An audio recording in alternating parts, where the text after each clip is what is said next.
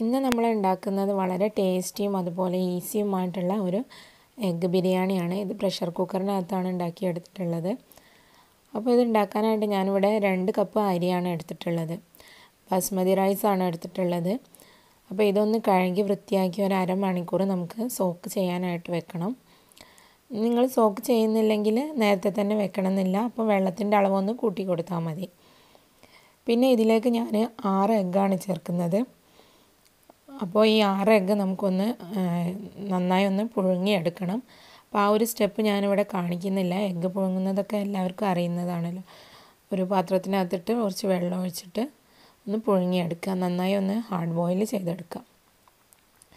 പിന്നെ ഞാൻ ഇതിനകത്തേക്കുള്ള മസാലയിലേക്കുള്ള സാധനങ്ങളാണ് ഇപ്പോൾ കാണിക്കുന്നത്. ഇതിലേക്ക് ഒരു വലിയ സവാള വേണം.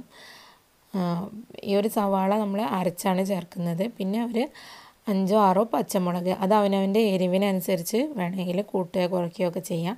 ഈ ഒരളവിൽ ചേർക്കുകയാണെങ്കിൽ നല്ല എരിവുണ്ടാവും. അപ്പോൾ കുട്ടികൾക്കൊക്കെ വേണമെങ്കിൽ കുറച്ച് ചേർക്കുക. പിന്നെ ഒരു രണ്ട് തക്കാളി ഇതൊന്ന് കട്ട് ചെയ്തെടുക്കുക. ഇനി നമുക്ക് ഞാൻ സവാളയും തക്കാളിയും അതുപോലെ പച്ചമുളകും ഒക്കെ ഒന്ന് മുറിച്ചെടുത്തിട്ടുണ്ട്. വളരെ ഫൈനായിട്ട് അരിഞ്ഞെടുക്കേണ്ട ആവശ്യമൊന്നുമില്ല. പിന്നെ കുറച്ച് മല്ലിയിലയും പുതിനയിലയും കൂടെ അരിഞ്ഞിട്ടുണ്ട്. അതുപോലെ തന്നെ ഒരു ഒന്നര ടീസ്പൂൺ ജിഞ്ചർ ഗാർലിക് പേസ്റ്റ് കൂടെ ഞാൻ ഇതിനകത്തേക്ക് ചേർത്ത് കൊടുക്കുന്നുണ്ട്. ഈ പേസ്റ്റ് ഇല്ലെങ്കിൽ ഒരു അര ഇഞ്ച് പീസ് ജിഞ്ചറും അതുപോലെ ഒരു ആറോ ഏഴോ അല്ലി വെളുത്തുള്ളി എടുത്താൽ മതി. ഇനി നമുക്കിതൊന്ന് നന്നായി ഒന്ന് വഴറ്റിയെടുക്കണം. അതിനായിട്ട് ഇപ്പോൾ ഞാനൊരു ചീനച്ചട്ടിയാണ് വെച്ചിട്ടുള്ളത്. ഇതിനകത്തേക്ക് നമുക്ക് ആവശ്യത്തിനുള്ള നെയ്യ് ഒഴിച്ച് നെയ്യ് അല്ലെങ്കിൽ ഓയിൽ എന്താണോ നിങ്ങൾക്ക് പ്രിഫർ ചെയ്യുന്നത് അത് ഒഴിച്ചു കൊടുക്കാം. അപ്പോൾ ഞാനിവിടെ ചേർത്തിട്ടുള്ളത് ഓയിലാണ് ഇതിന് പകരം വെളിച്ചെണ്ണ ഉപയോഗിക്കുക. നമ്മൾ എഗ്ഗ് ബിരിയാണി ആയതുകൊണ്ട് നെയ്യിൽ തന്നെ വെക്കണം എന്നുള്ള നിർബന്ധമൊന്നുമില്ല. ഇതിലേക്ക് ഇഞ്ചി വെളുത്തുള്ളിയും ചേർത്തൊന്ന് മൂപ്പിച്ചെടുക്കണം.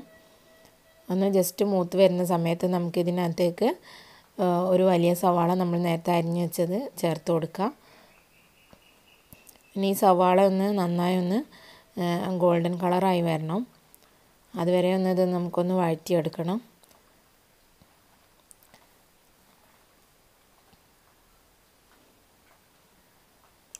ഈ ഒരു വെജിറ്റബിൾസ് അല്ലാതെ അതിലേക്ക് നമ്മൾ കുറച്ചുകൂടെ വേറെ ചേർത്ത് കൊടുക്കുന്നുണ്ട്. ഇത് നമുക്ക് പേസ്റ്റാക്കി എടുക്കാനുള്ളതാണ്. ഇപ്പം ഞാൻ ഇതിലേക്ക് നമ്മൾ എടുത്തു വെച്ചിട്ടുണ്ടായിരുന്ന പച്ചമുളക് അതുകൂടെ ഒന്ന് പൊട്ടിച്ച് ചേർത്തിട്ടുണ്ട്. അരിഞ്ഞൊന്നും എടുക്കണമെന്നില്ല. ജസ്റ്റ് അങ്ങനെ തന്നെ ഇട്ട് കൊടുത്താലും മതി. തക്കാളി കൂടെ ചേർത്തിട്ട് നല്ലതുപോലെ ഒന്ന് വഴറ്റിയെടുക്കാം നമുക്ക്. നന്നായി ഒന്ന് വെന്ത് കിട്ടണം നമുക്ക്. പിന്നെ ഉപ്പിന്റെ അളവ് നമ്മൾ ലാസ്റ്റ് ചേർത്താൽ മതി. ഈ സമയത്തൊന്നും ഉപ്പ് ചേർത്ത് കൊടുക്കേണ്ട ആവശ്യമില്ല. ഇനി അരിഞ്ഞ് വെച്ചിട്ടുള്ള മല്ലിയിലയും പുതിനയിലയും കൂടെ ചേർത്ത് കൊടുക്കാം. ഇതിപ്പോൾ ഞാൻ ഒരു തണ്ട് മല്ലിയിലയും അതുപോലെ തന്നെ ഒരു രണ്ട് പീസ് പുതിനയിലയും കൂടാണ് എടുത്തിട്ടുള്ളത്. അപ്പോൾ കൂടുതൽ വേണമെന്നുണ്ടെങ്കിൽ കൂടുതൽ ചേർത്ത് കൊടുക്കാം. പിന്നെ നമ്മളിത് അരച്ചെടുക്കുന്നതായതുകൊണ്ട് അതിന്റെ വല്ലാത്തൊരു ചുവ ഉണ്ടാവും അപ്പോൾ അധികം ചേർക്കാതിരിക്കുന്നതാണ് നല്ലത്. അങ്ങനെ വേണ്ടാത്തവർക്ക് ഇത് ഡയറക്റ്റായിട്ട് നമ്മൾ മസാലയൊക്കെ ഉണ്ടാക്കി കഴിഞ്ഞ് ചോറ് വെക്കുന്ന സമയത്ത് അതിനകത്തേക്ക് ചേർത്ത് കൊടുത്താലും മതി കേട്ടോ. അപ്പോൾ ഇത് ജസ്റ്റ് ഒന്ന് നല്ലതുപോലെ ഒന്ന് വഴന്ന് വന്നിട്ടുണ്ട്. നമുക്ക് ഇതിനകത്തേക്ക് മസാലകളൊക്കെ ചേർത്ത് കൊടുക്കാം. ഒന്നര ടീസ്പൂൺ മല്ലിപ്പൊടി അര ടീസ്പൂൺ മഞ്ഞൾപ്പൊടി അതുപോലെ ഒരു മുക്കാൽ ടീസ്പൂൺ ഗരം മസാല. ഇത്രയും ചേർത്ത് ഈ മസാലയും കൂടെ ഒന്ന് ഇതിനകത്ത് ഒന്ന് ഫ്രൈ ആയിട്ട് വരുന്നവരെ ഒരു രണ്ട് മിനിറ്റ് ഒന്ന് ഇളക്കി കൊടുക്കാം. അതിന്റെ ആ പച്ചമണമൊക്കെ ഒന്ന് മാറിക്കിട്ടാൻ വേണ്ടിയിട്ടാണ്. പ്രത്യേകിച്ച് ഇതിനകത്തേക്ക് വെള്ളമൊന്നും ചേർക്കരുത്. നമ്മൾ നേരത്തെ ഒഴിച്ചിട്ടുള്ള എണ്ണയിൽ കിടന്നതൊന്ന് റെഡിയായിട്ട് വന്നാൽ മതി. ഇപ്പോൾ ഇത് റെഡി ആയിട്ടുണ്ടെങ്കിൽ നമുക്ക് ഫ്ലെയിം ഓഫ് ചെയ്തതൊന്ന് തണുക്കാനായിട്ട് വെക്കാം. തണുത്തതിന് ശേഷം ഇതൊരു മിക്സിയുടെ ജാറിലേക്ക് എടുത്തിട്ട് ഒന്ന് പേസ്റ്റാക്കി എടുക്കണം. നല്ലതുപോലെ ഒന്ന് ഫൈൻ പേസ്റ്റായിട്ട് തന്നെ നമുക്ക് കിട്ടണം ഇത്. ഇനി നമുക്കൊരു പ്രഷർ കുക്കർ അടുപ്പത്ത് വെച്ച് ചൂടായതിന് ശേഷം അതിലേക്ക് ഒരു കാൽ കപ്പ് ഓയിൽ അല്ലെങ്കിൽ നെയ്യ് ഒഴിച്ച് കൊടുക്കാം. നമുക്ക് അരിയിലേക്ക് എത്ര നെയ്യ് വേണമെന്നുണ്ടെങ്കിൽ അത്ര ഒഴിച്ച് കുറച്ച് മതിയെങ്കിൽ അത്രയും ചേർത്താൽ മതി. അതിലേക്ക് ഒരു ഒന്നോ രണ്ടോ ബേ ലീവ്സ് പൊട്ടിച്ചത് അതുപോലെ തന്നെ ഒരു ഇഞ്ച് കഷ്ണം പട്ട കറുവപ്പട്ട അതുപോലെ ഒരു മൂന്ന് ഏലക്കായ ഒരു അഞ്ചാറോ ഗ്രാമ്പു. ഇത്രയും ചേർത്തൊന്ന് വഴറ്റിയെടുക്കണം. അതൊന്ന് നന്നായി ഒന്ന് മൂത്ത് വരണം. എന്നാലേ നമ്മൾ ചോറിന് നല്ലൊരു സ്മെല്ല് ഉണ്ടാവുകയുള്ളൂ ഇനി ഇതിനകത്തേക്ക് നമുക്ക് ഒരു ചെറിയ സവാളയുടെ പകുതി വളരെ ചെറിയ സവാളയുടെ പകുതി അരിഞ്ഞത് ചേർത്ത് കൊടുക്കുക അത് നന്നായിട്ട് തന്നെ ഫൈനായിട്ട് അരിഞ്ഞതായിരിക്കണം. അത് ചേർത്ത് കൊടുക്കാം. ഇനി അതൊന്ന് മൂത്ത് വരണം.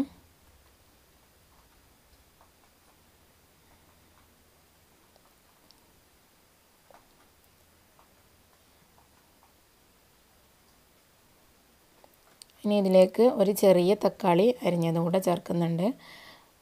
സവാള നന്നായി ഒന്ന് ഗോൾഡൻ കളറായി വരുന്ന ഒരു ഏകദേശം ഒരു ഗോൾഡൻ കളറായി വരുന്ന സമയത്ത് തക്കാളി ചേർത്ത് കൊടുത്താൽ മതി. തക്കാളി ചേർക്കുന്ന സമയത്ത് സവാള ഒന്ന് ലൈറ്റായിട്ട് വരും. സവാളയും തക്കാളിയും നന്നായി വഴന്ന് വരുമ്പോൾ നമുക്ക് നേരത്തെ നമ്മൾ അരച്ച് വെച്ചിട്ടുള്ള കൂട്ട് ഇതിനകത്തേക്ക് ചേർത്ത് കൊടുക്കാം. മസാലക്കൂട്ട് ചേർത്തിട്ടുണ്ട്. ഇനി ഇതെല്ലാം കൂടെ ഒന്ന് ഫ്രൈ ആയിട്ട് വരണം. ആ ഓയിലിനകത്ത് കിടന്ന്.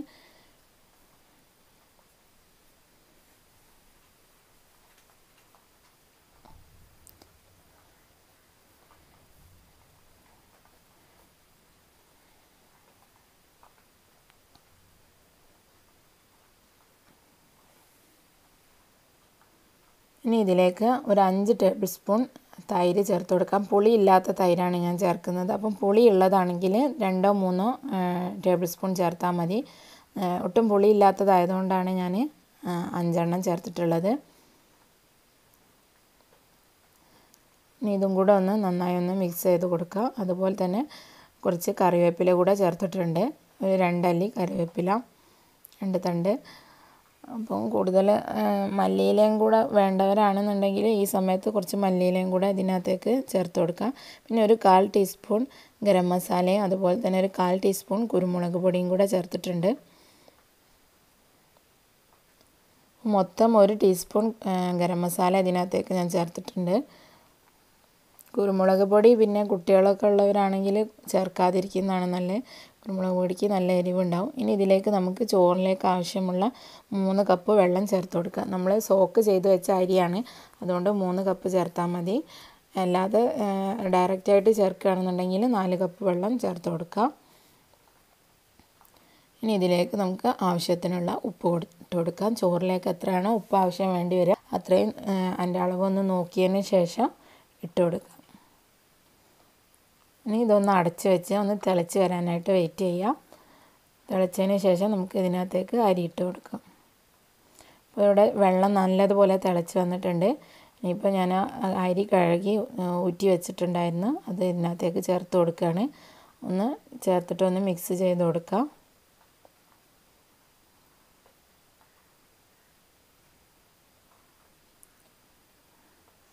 അങ്ങനെ തന്നെ അടച്ചു വെക്കരുത്. ഒന്ന് ഇളക്കി കൊടുക്കണം ചേർത്ത് കഴിഞ്ഞാൽ നേരത്തെ നമ്മൾ പൊങ്ങി വെച്ചിട്ടുള്ള ആറ് എഗ്ഗും കൂടെ ചേർത്തിട്ടുണ്ട്.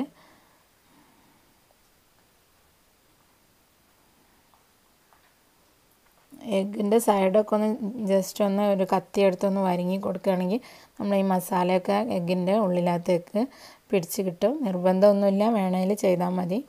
അല്ലെങ്കിൽ അങ്ങനെ തന്നെ ചേർത്ത് കൊടുക്കാം. ഇനി അടച്ച് വെച്ച് രണ്ട് വിസിൽ വരുന്നത് വരെ ഒന്ന് വേവിച്ചിട്ട് മർദ്ദം പൂർണമായിട്ടും പോയതിന് ശേഷം മാത്രം തുറന്നാൽ മതി. പ്രഷറിൽ പ്രഷർ കുക്കറിന് ഒരു ഒട്ടും തന്നെ മർദ്ദം ഉണ്ടാവാൻ പാടില്ല. നല്ലതുപോലെ തണുത്തതിന് ശേഷം മാത്രം തുറന്നിട്ട് നോക്കുക. നമ്മുടെ ബിരിയാണി ഇവിടെ റെഡിയാണ്. വളരെ ടേസ്റ്റി ആയിട്ടുള്ള വളരെ എളുപ്പത്തിൽ നമുക്ക് തയ്യാറാക്കാൻ പറ്റുന്ന ഒരു ബിരിയാണി. നമ്മുടെ ചിക്കൻ ബിരിയാണീന്റെ ഒക്കെ അത്ര തന്നെ ടേസ്റ്റുള്ള ഒരു ബിരിയാണിയാണ്. അപ്പോൾ നിങ്ങൾക്ക് ഈ വീഡിയോ ഇഷ്ടമായെങ്കിൽ ഷെയർ ചെയ്യാനും ലൈക്ക് ചെയ്യാനും മറക്കരുത്. റെസിപ്പി ഇഷ്ടമായിട്ടുണ്ടെങ്കിൽ ഒന്ന് ട്രൈ ചെയ്ത് നോക്കാനും മറക്കരുത്. ഇൻഷാല്ല മറ്റൊരു വീഡിയോയുമായിട്ട് മറ്റൊരു എപ്പിസോഡിൽ വീണ്ടും കാണാം. പിന്നെ സബ്സ്ക്രൈബ് ചെയ്യാത്തവർ സബ്സ്ക്രൈബ് ചെയ്യാനും മറക്കരുത് കേട്ടോ. Thank you for watching